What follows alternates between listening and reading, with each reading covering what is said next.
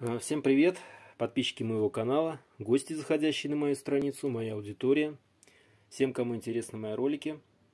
Сегодня будет уже третий видеоролик, а, посвященный вот этим пластинкам фона Христоматии СССР. И сегодня мы будем слушать, я еще ее не слушал, это голос Надежды Константиновны Крупской. Запись выступлений, вот сейчас будем слушать вырастить смену, смену крепкую, из речи на всесоюзном совещании жен хозяйственников и инженерно-технических работников 11 мая 1936 год. Науку приблизить к массам из выступлений на второй сессии в ЦИК 2 февраля 1936 год. И жизнь стала светлой. Из выступлений перед избирателями в городе Серпухове, ноябрь 1937 год. Вот. Вот так вот пластиночка, как мы видим, оформлена.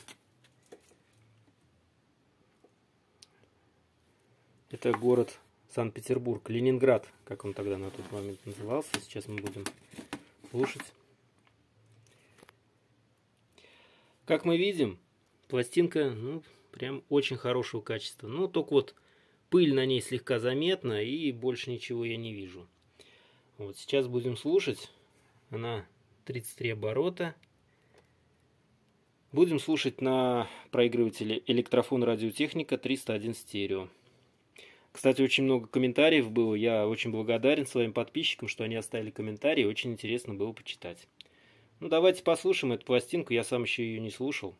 Послушаем вместе.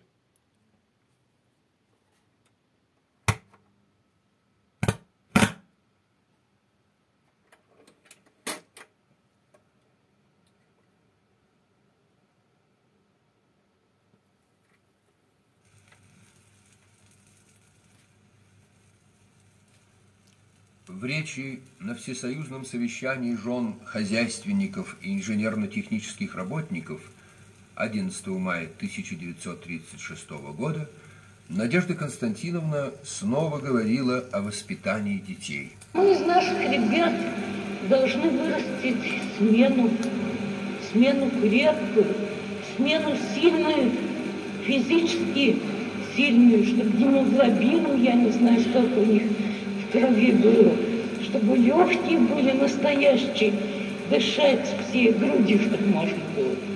Должны ребят вырастить таких, которые бы, знаете, и радостно жить могли, впитывать в себя всю радость жизни, и которые в то же время были бы и людьми, интересующимися наукой, двигающими ее вперед, и организаторами этой новой жизни, и которые умели бы свои знания передавать самым широким массам. Чтобы вырастить таких ребят, надо и самим расти. Другой отрывок из этого же выступления показывает, как Надежда Константиновна умела беседовать даже с самой большой аудиторией. Как казалось бы, незначительные факты служили основанием для большого и серьезного разговора.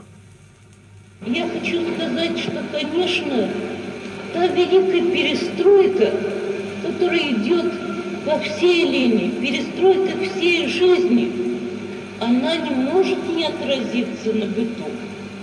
Раньше был такой разрыв. Жены инженеров, жены ответственных работников, они далеко стояли от рабочей массы жили замкнутой жизнью. Я вот помню, мы в 29 году с Марией Ильиничной, сестрой Владимира Ильича, были на Северном Кавказе в таком совхозе хуторок. И вот мы устроили там собрание работниц, это совхоз, работниц женское собрание, чтобы они рассказали о своей жизни, обо всем. И вот что меня поразило, что они рассказывают и все к одному и тому же возвращаются, к жене директора.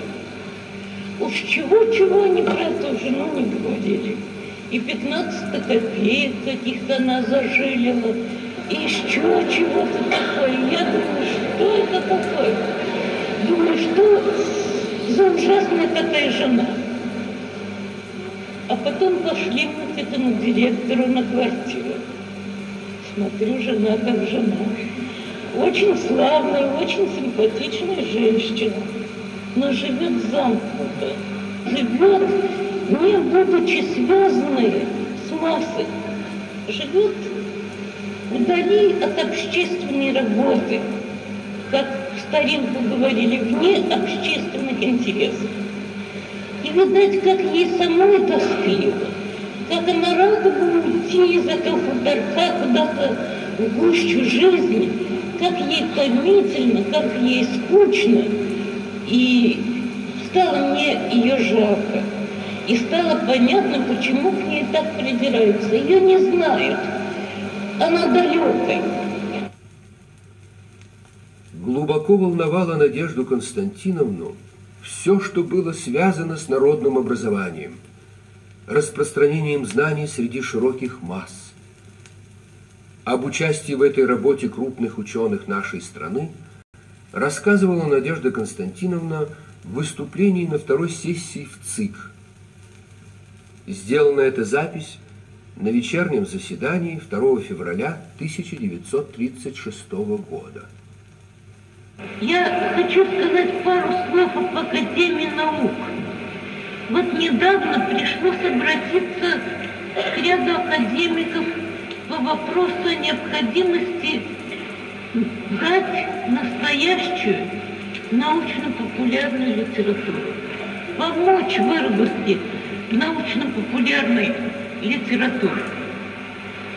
Вот мы обратились с письмом к ряду академиков – и наши академики, крупнейшие ученые, председатель Академии наук, товарищ Карпинский, которого сессии ЦИКа приветствовал так, он написал, что поговорил с президиумом, поговорил с непременным секретарем Академии товарищем Горбуновым, обдумая никак это дело организовать, получился ответ от академика Павлова, имя которого известно всему миру, который громадно имеет научное открытие.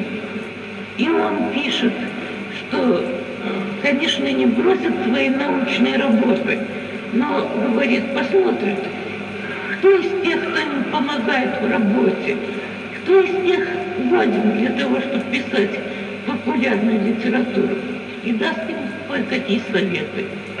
Академик Крыжиновский, академик Карпинцы, академик Брицкий, Ферсман, Бах, все они горячо отозвались на вот эту просьбу помочь в писании популярной книжки. Это знамение времени. Это показывает, как то, чего, так сказать, хотел Владимир Ильич, о чем он говорил не раз. Как это подхватывается сейчас учеными, и как ученые нашей великой Родины стараются действительно науку приблизить к массам. Последние по времени выступления Надежды Константиновны из сохранившихся в звукозаписи относятся к 1937 году. В один из ноябрьских дней кандидат в депутаты Верховного Совета страны Крупская приехала в подмосковный город Серпухов для встречи со своими избирателями. Надежда Константиновна была взволнована до глубины души. Она говорила о главном, о счастье служить народу, великому ленинскому делу.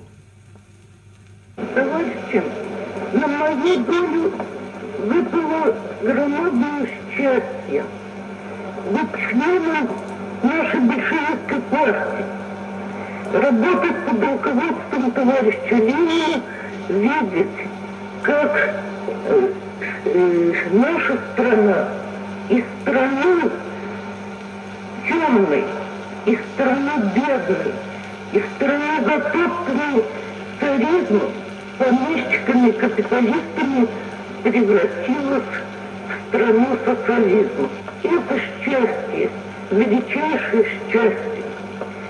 Сейчас, когда приходится присутствовать на целом ряде собраний и видеть, как сплочены наши массы, какой любовью они относятся к нашей партии, какой любовью они вспоминают Ленина, какой любовью относятся к руководству нашей партии. С такими моментами, товарищи, я чувствую себя чрезвычайно счастливой. Товарищи, позвольте вас поблагодарить также за то доверие, которое вы оказали. Я рада, что я прикреплена к вашему району. Это район текстильный. А я выковываю большевичку как раз работая в районе, где было очень много текстильных фабрик. Все это пережитое так стоит в памяти. Я помню, когда приехал Владимир Ильич э, в Ленинград, я уже тогда была марксисткой. Это первые годы, 94-й, 95-й год. Как приходилось, я была тогда учительницей вечерней воскресной школы. И вот мы встречались с Владимиром Ильичем. Он работал также, вел отдельные кружки рабочих. А его ученики, э, были, многие из них были по вечерней воскресной школе, которой я занималась. И вот я помню все разговоры, обыкновенно в воскресенье Владимир Ильич из своего кружка едет, заезжает по дороге ко мне, я ему рассказываю все, что я узнала, как живут рабочие, как они, что думают, чем волнуются. Я помню, как тогда приходилось, одевши платок, подработница, так сказать, одевшись, ходить, вот я на фабрику Торнтона, теперь красный ткач. Там один ученик мой провел меня туда как будто бы я работница куда-то шла. И вот я видела, в каких ужаснейших условиях жили ткачи там. Потом тесно я была связана с текстильными фабриками. И там приходили ученики после громадного числа часов, которые они заняты, после тяжелейшей работы. И вот обо всем этом мы говорили с Владимиром Ильичем. Это нас страшно сближает. Мне приходится видеть и колхозников, и рабочих, и учиться видеть разные слои. И видишь, чувствуешь, какой громадный подъем, как яснее, четче понимать, за что шла борьба, за что она будет идти. Ведь все это понимает, что дело не кончено еще, что Конституция не раскрывает только еще шире двери для борьбы за еще более светлую жизнь, за еще более счастливую жизнь. Ну, конечно, правильно говорим, жизнь стала счастливой, жизнь стала светлой. Это мы можем с правом говорить, но мы же знаем и хотим действительно быть тем маяком, тем лучом, который светит всему миру. Мы видим сейчас, как товарищи рабочие других стран, они смотрят на наших союз советских социалистических республик, где клеиться дружба народов, теснейшая дружба народов, как они смотрят, каким доверием, какой любовью. Разумеется, товарищи, пожелать вам успеха во всей вашей работе и еще раз поблагодарить вас за то доверие, которые бы мне хотели.